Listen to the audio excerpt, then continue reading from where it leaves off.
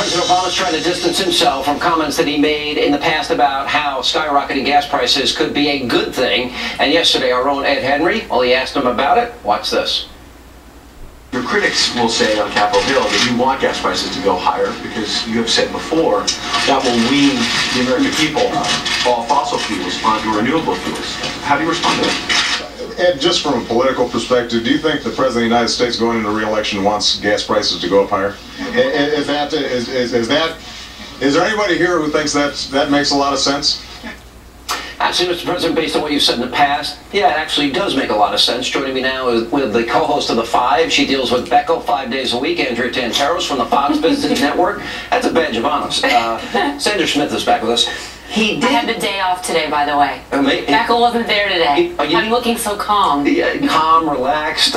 Um, President Obama did say that he'd prefer that gas prices go up, but more gradually.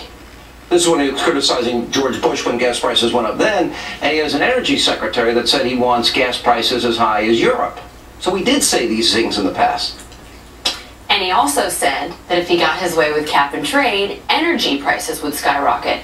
So he's just, you know, look, he wants your housing prices to go up because he wants your solar, you buy solar panels, he wants the cost of cars to go up, he wants you to buy a Volt he wants things to go up. And when he says that he doesn't want it to go up because it hurts American families, what about all his other policies? What about raising taxes? What about all the other things he's doing that hurt American families? When you go after oil companies, they eventually pass that cost down to the consumer. Oh, and a lot of folks have their retirement funds uh, in these invested in a lot of these oil companies. So he is hurting the. Look, what Douglas kills me is the no quick fix comment. I mean, we're still looking at a president who's saying there's no quick fix to higher gas and oil prices today, and possibly that's because he wants them to be higher. But Sean, the voters are going to be the true judge of this, and that is gas prices are double what they were before as this president took office, and there's been no energy policy to create a better environment but he's for also consumers. Saying the, the, the two we, we, we take it 2%, but we produce 2%, but we use 20. Is that a bad thing? That we use energy because we're advancing, no, you know, the human condition and, and making better lives for people, not just here, but around the world? No, our country is built, we use fossil fuels, we happen to like oil, and the president has not accommodated this fact. In fact, the administration has made it very clear that they want to urge Saudi Arabia to produce more oil so that, that we can, so that we can subsidize being more dependent on, on Middle East oil. But he's openly hostile to fossil fuel and openly hostile and there's no other competitive source on the market. Just look at Europe. Germany, all these other countries tried green energy. They tried the exact same thing that he's pushing, and now they're all backing off because they're saying we cannot afford it. It's not working. There's no market. You know, and, and, they're bragging that we're producing more oil than we used to, but that's all on private land. It has nothing to do with the administration opening up public land. Uh, but I do. My favorite quote of all time comes from President Obama. He does have advice on how, well, we can get every mile possible out of a gallon of gas. Here's his advice.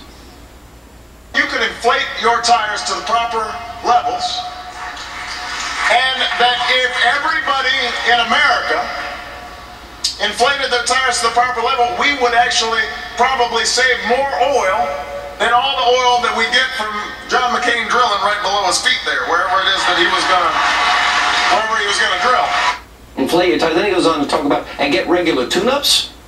That's Can we said. use the hot air coming out of the White House to inflate all these tires? I think we actually could. We were, we were joking earlier. It's inflate your tires, and uh, it's going to be algae is going to answer all of that's, the problems. And pond scum. And, yeah, I would, listen. The algae thing ought to be mocked by everybody. I mean, remember when President Reagan said that trees cause pollution, and he was eviscerated for that. Can you imagine if a Republican president yeah. talked about pond scum and algae? And ketchup and, is a vegetable. Our government told us so. Right. And potatoes are bad. Yeah. Leaf. I just, I, you know, and we're, we're laughing about it, but Sean, I just think that this is going to be the key focus of the election because this is one thing that consumers every day in America have to deal with higher gas prices. And you're looking at a president who's talking about quick fixes and didn't do what it took years ago to really evoke change. Andrea's right. He didn't even answer Ed Henry's question. He didn't answer the question. No, of course exactly right. No, it doesn't. It's exactly it. Doesn't have an answer. Guys, good to see you both. Yeah. And coming up is in a appropriate for the president to lecture an American hero and former POW on the consequences of war?